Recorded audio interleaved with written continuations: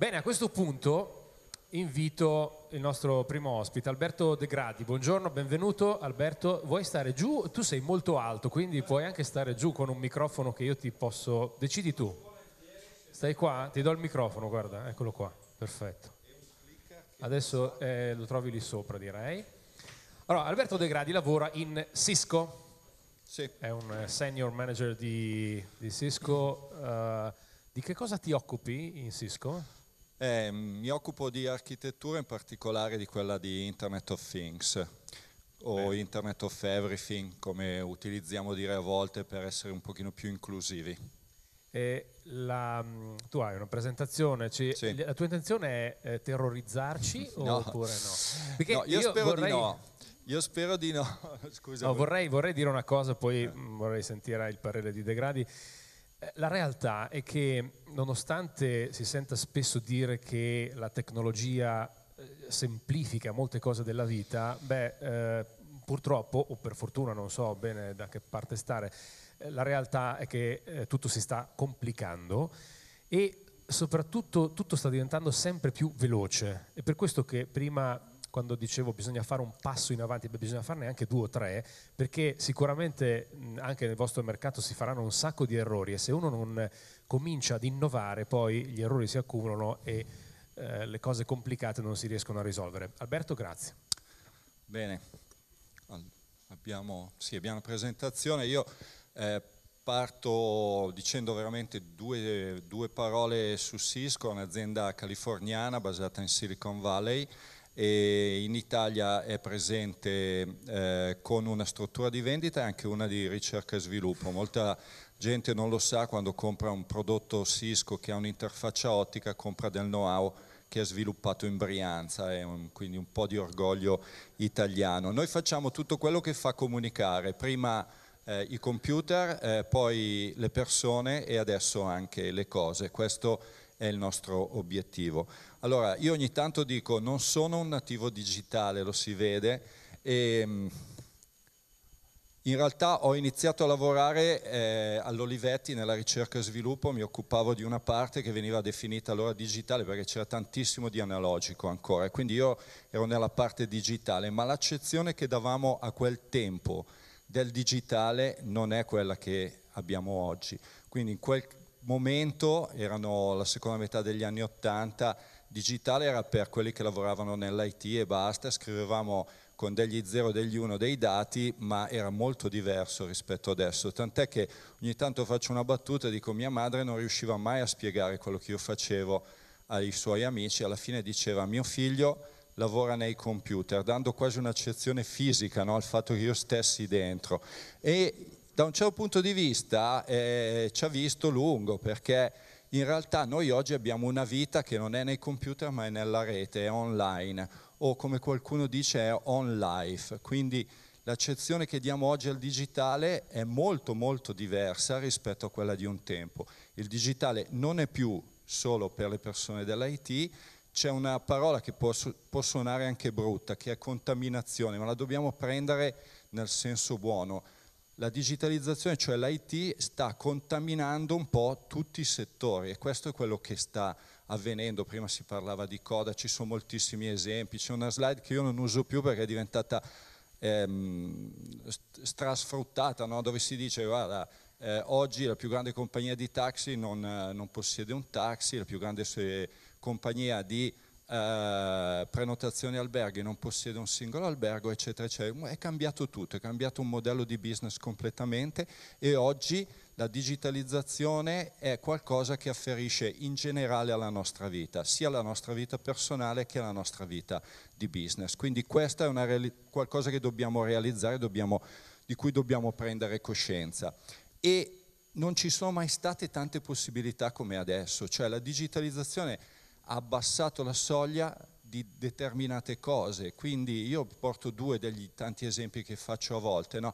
Il primo è quello di una ragazza di 22 anni che si pagava all'università facendo la babysitter che a un certo punto si è trovato da Bank of America, quindi insomma comunque una realtà importante negli Stati Uniti, una tassa addizionale di 5 dollari sulla carta di debito.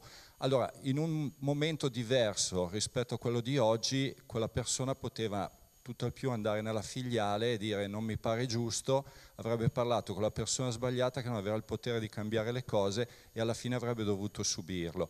Grazie a internet ha aperto una petizione su un sito che si chiama change.org, ha ricevuto talmente tante adesioni da convincere la banca a rimuovere questa tassa. Oppure quell'altra che vedete è una ragazza che oggi è una delle 25 anni probabilmente più ricche degli Stati Uniti che ha iniziato per gioco il venerdì sera perché le piaceva truccarsi, pensava di poterlo fare bene, a registrare dei piccoli suggerimenti e metterli su YouTube dicendo vi consiglio di far così per prepararvi la vostra serata del venerdì sera.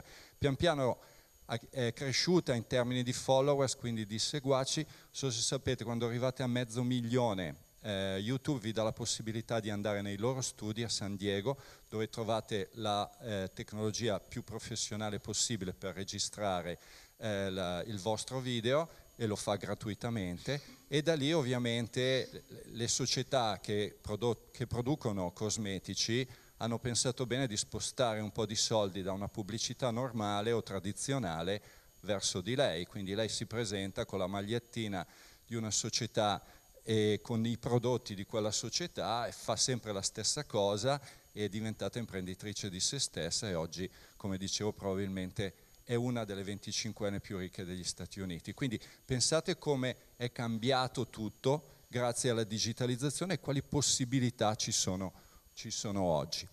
E, eh, è cambiata la nostra vita, eh, una volta compravamo i CD, eh, oggi c'è la musica, si dice liquida, quindi ci compriamo la canzone che ci interessa, fine. Una volta per leggere un giornale andavamo a prenderlo in edicola, un libro in libreria, oggi lo potete scaricare eh, da internet, lo stesso vale per i film, se volete comprare qualcosa lo fate attraverso internet, in più in futuro probabilmente lo comprerete un oggetto digitale che vi stamperete, magari all'inizio non a casa, o ci stamperemo non a casa, ma probabilmente in qualche stamperia digitale 3D che sarà vicino a casa e poi alla fine avremo un elettrodomestico in più in casa che sarà una stampante 3D. Quindi il modello di business dietro tutto questo è cambiato e cambia radicalmente. Dove e cosa ci ha portato qui? Ci ha portato qui l'evoluzione di internet, quindi internet eh, possiamo sintetizzare che è passata attraverso quattro fasi. No?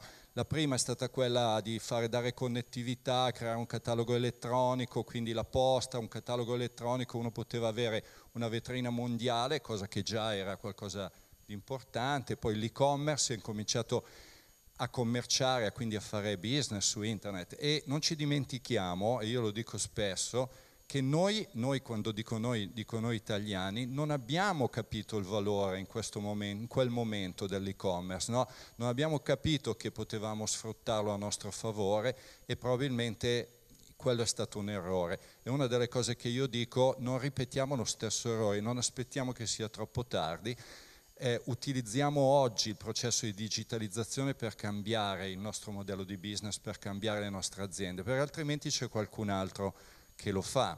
Quindi in America si dice disrupt o be disrupted, che è forte, cioè qualcosa un po' di, di esagerato, no? quindi se non lo fai tu qualcuno lo fa a tuo danno alla fine, ma in realtà è quello che sta succedendo, perché siamo veramente in un momento in cui la digitalizzazione e l'utilizzo della tecnologia deve essere visto quasi come una rivoluzione come quelle rivoluzioni in cui siamo passati con eh, la rivoluzione industriale, eccetera.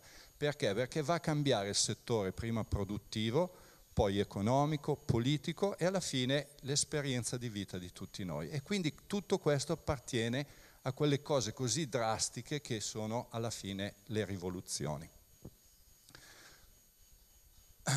Per cui che cosa ci ha portato? Ah, scusate, poi c'era il social e poi la digitalizzazione. Che cosa ci ha portato a fare tutto questo? Beh, eh, ci sono dei facilitatori. Voi vendete materiale, il materiale, soprattutto quello elettronico, ha avuto un cambiamento radicale. No?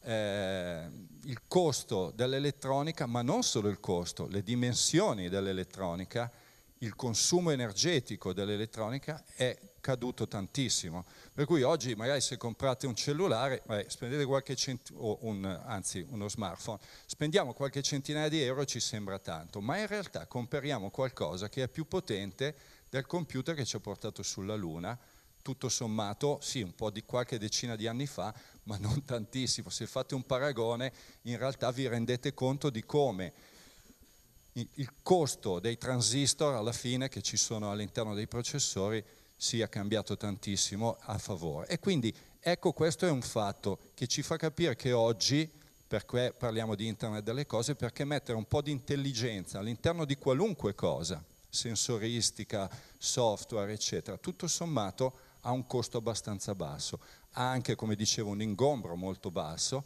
e un consumo energetico diciamo, sostenibile. Ed ecco quindi perché tutto questo rende e favorisce la capacità di arrivare, di arrivare lì. Si dice un iPad 2 che oggi già è preistoria, io ce l'ho in un cassetto no? perché alla fine non lo utilizzo più, vedete, sarebbe costato un patrimonio no? se lo riportiamo agli anni 50. E non è solo la connettività. La connettività in realtà è il primo passo dell'Internet delle cose, ma il vero valore dell'Internet delle cose sta poi nei dati che noi riusciamo a estrarre da queste cose. Perché se noi banalizziamo un attimo l'Internet delle cose, noi prendiamo qualcosa di fisico, gli mettiamo un po' di intelligenza, gli mettiamo la capacità di portare queste cose attraverso la comunicazione, quindi attraverso il fatto di essere connessi fuori da questo oggetto, ok? e portiamo dei dati, quindi creiamo una quantità di dati e la quantità di dati che stiamo creando è enorme. Lì vedete, negli ultimi due anni abbiamo creato una quantità di dati spropositata e continuiamo a crearne sempre di più.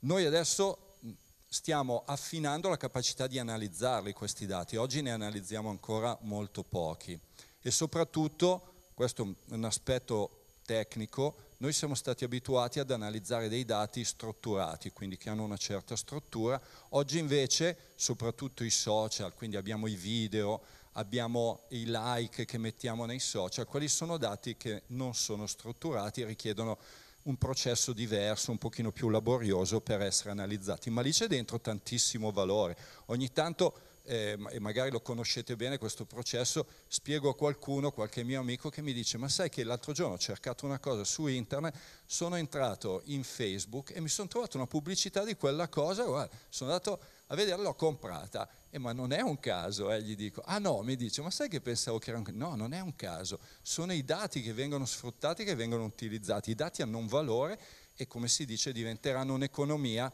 pari o forse più rispetto al petrolio, all'economia che abbiamo oggi del petrolio. Quindi i dati sono un altro fattore e i dati vanno a cambiare tutto e sono il vero valore. Il vero valore sta nei dati, quindi la connettività è necessaria, il vero valore viene poi dai dati, quindi dalla capacità di prendere queste informazioni, con queste informazioni creare nuova conoscenza, con questa nuova conoscenza creare nuovi prodotti, nuovi modelli di servizio, dare qualcosa di diverso ai nostri clienti. Lì sta il vero vantaggio.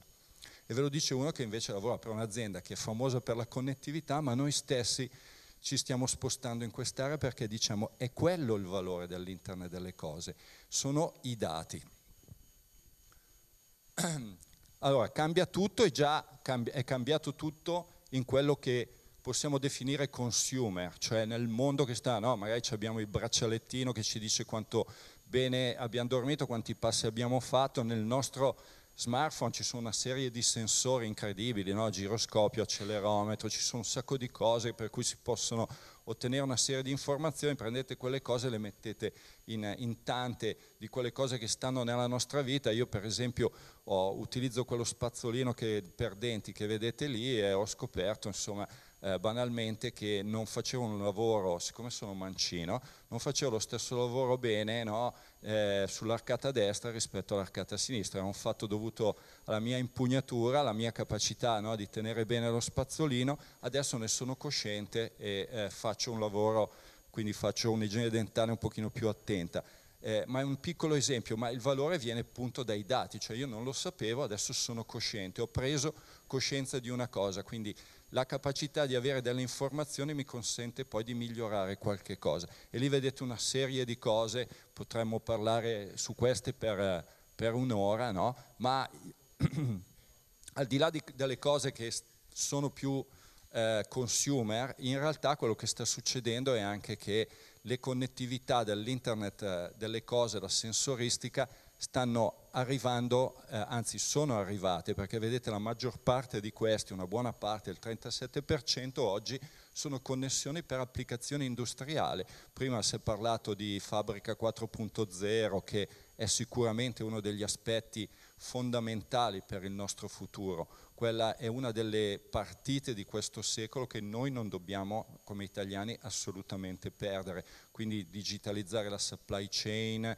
e eh, andare a lavorare con tutte quelle cose che riguardano la produzione industriale portando l'IT all'interno della produzione, quello che viene oggi chiamato operation technology e questo va a cambiare un po' tutto il mondo, no? lì ci sono alcuni esempi, si parla molto di smart city o come preferiamo chiamarlo noi, questa è la nostra accezione, smart connected community, perché la smart city sembra dare l'intelligenza alla città, che per certi aspetti è vero, però siamo, diciamo, la tecnologia deve sempre considerare che l'uomo, la persona sta al centro e quindi Smart Connected Community probabilmente rende di più questa idea, quindi servizi che sono per noi, come, si diceva prima, no? la tecnologia alla fine la puoi in qualche modo subire piuttosto che gestire. Io penso che cambia anche molto il modo in cui noi lavoriamo con la tecnologia. Una volta noi ci dovevamo adattare alla tecnologia, oggi è la tecnologia che si adatta a noi, no? oggi noi possiamo schiacciare un pulsante e dire chiamami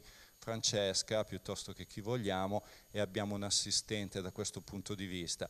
Eh, è un esempio semplice ma per dirvi come la tecnologia sta evolvendo per essere molto più capace no, di essere al nostro servizio, noi abbiamo bisogno di essere meno tecnici e possiamo utilizzare meglio la tecnologia. Questo avviene in tutti i settori, li vedete No, eh, par parliamo di collision free traffic, le macchine che si guidano da sola, l'interazione con i sensori, di tutto, possiamo, anche su questo potremmo spendere tantissimo tempo, smart agriculture, industria, industria 4.0, noi in particolare come azienda ci siamo focalizzati, perché poi è difficile far tutto, sull'industria 4.0 e sull'agricoltura, più che sull'agricoltura in realtà sul tracciamento, di quello che l'agricoltura genera, per cui eh, per esempio in Expo abbiamo fatto in collaborazione con la Barilla eh, una limited edition delle farfalle ins confezionate insieme a un sugo pomodoro e basilico dove voi potevate con un QR code risalire a tutta la filiera che c'era dietro, quindi sapere da dove arrivava il grano, dove arrivava il pomodoro,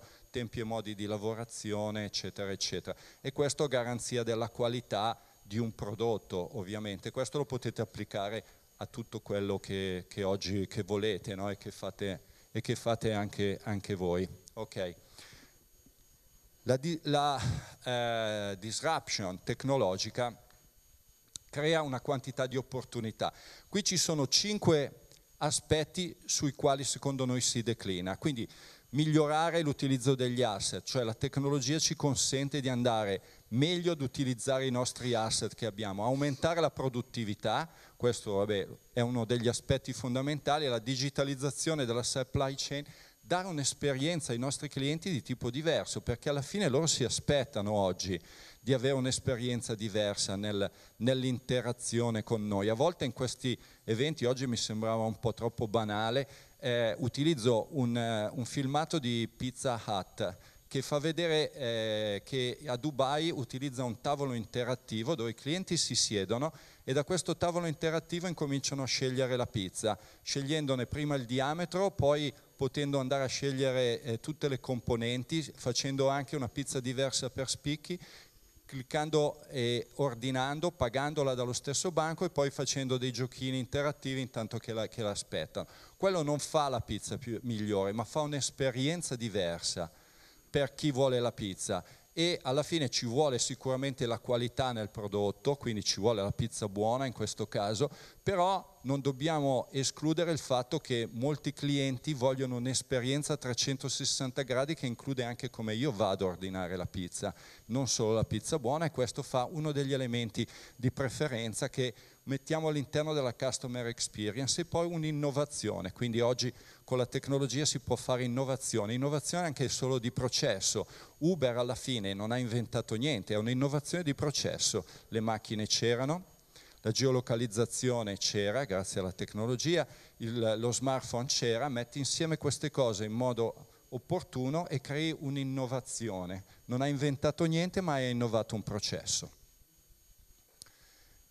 Queste le possiamo dividere in due grandi aree, quindi risparmiamo denaro, facciamo le stesse cose meglio risparmiando denaro, oppure ovviamente andiamo invece a creare opportunità nuove e di conseguenza creare fondamentalmente denaro. Okay.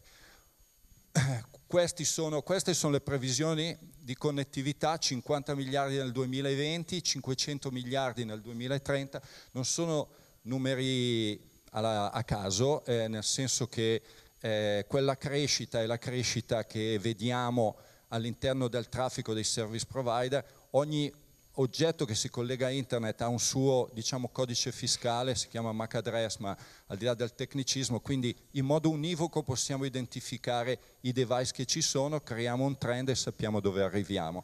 Nel 2020 ci saranno circa sette volte gli oggetti eh, in internet rispetto alla popolazione che avremo, quindi tantissimo.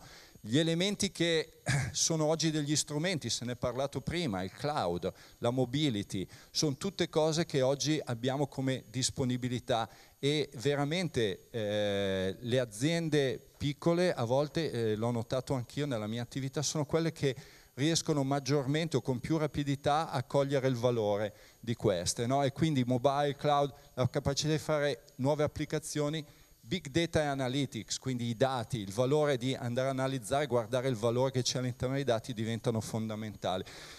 Quindi innovare il prodotto e fare un nuovo servizio. Questi sono i due output di tutto questo. Quindi io posso fare un, un prodotto migliore perché capisco, immaginate, io faccio un esempio molto pratico che magari distante, anzi sicuramente distante dal vostro lavoro, ma immaginate di avere una lavatrice connessa a internet, io posso sapere esattamente quanti cicli e, qua, e quali tipi di lavaggio fa e posso creare un prodotto migliore, non solo posso passare dal vendere il prodotto al vendere un servizio ti vendo un certo numero di lavaggi invece che il, il, prodotto. Questo è un altro cambio. Se ci guardiamo intorno sta già succedendo. Car to go, non compro la macchina, utilizzo il servizio.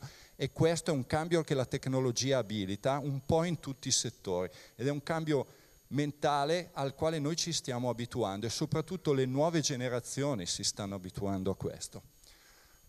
Nel retail Beh, nel retail io ho portato qualche esempio, machine to machine, cioè le macchine che parlano alle macchine possono dirci esattamente quanto inventory abbiamo, quindi cosa abbiamo nel magazzino, possono integrare automaticamente quello che ci serve, quindi possono sapere in, grazie agli analytics che cosa sta andando di più e reintegrarlo in modo automatico, quindi ci sono una serie di cose che possono essere realizzate. Poi in questo caso eh, ehm, machine eh, to people, quindi analytics, andare a vedere il comportamento degli utenti. Sapete che attraverso il wireless oggi noi nei grandi magazzini siamo in grado di sapere esattamente il percorso che fanno le persone, quanto si fermano davanti a una certa area espositiva e quindi capire che cosa gradiscono e che cosa non gradiscono. No? Quindi oggi siamo capaci di mappare queste cose e quindi di avere dei dati sulla base dei, dei quali poi sviluppare eh, qualcosa di diverso. E poi l'ultima parte, l'utilizzare la capacità comunicativa attraverso eh, i mezzi che oggi abbiamo multimediali per fare per esempio remote expert. Non, magari in un centro, abbiamo, in un punto vendita non abbiamo sempre l'esperto di tutte le tecnologie, ma possiamo metterlo centralizzato, remotizzato, in modo tale che possiamo avere a disponibile l'esperto grazie alla tecnologia in qualunque momento, indipendentemente dal fatto fisico dove lui possa essere. Questi sono degli esempi pratici che riguardano il, il retail. Che cosa succederà? Allora, gli, studi ci dicono che nel 2020 il 75% del business sarà digitale, quindi una percentuale veramente alta e chi non avrà la capacità di rivedere completamente il proprio business, questa è una delle cose importanti, potrebbe essere questa la, sua, la causa del proprio, del proprio, insuccesso, quindi l'incapacità, se vogliamo, oppure siamo sempre un po', come dire, cioè abbiamo, abbiamo, sempre qualche timore nei cambiamenti, no? questo credo che sia umano, non è niente di... Eh, è quello che probabilmente tutti noi abbiamo al, al, nostro interno, dobbiamo un po' vincerlo perché c'è un cambiamento importante in atto che dobbiamo, e dobbiamo realizzare che è così e quindi dobbiamo avere la capacità di rivedere, ri, ripensare completamente il nostro business grazie alla tecnologia. E la multidisciplinarità sono arrivato alla fine, la multidisciplinarità, quindi la capacità anche non semplicemente di utilizzare e di pensare alle cose che stanno nel nostro settore, ma la capacità di integrarne diversi. Ho detto che c'è questo effetto contaminazione, quindi l'IT in generale è uno degli elementi o degli ingredienti in più nell'ambito della multidisciplinarità, ma in generale in tutto questo, oggi si parla per esempio di meccatronica, no? sono esempi di multidisciplinarità, questo è un altro dei suggerimenti che vi do e lo trovate e lo troviamo in generale anche con i giovani, i giovani sono molto attenti a questo e secondo me lo stanno capendo molto bene. Spero di avervi dato qualche diciamo, spunto interessante ritorno la parola a Enrico. Bene.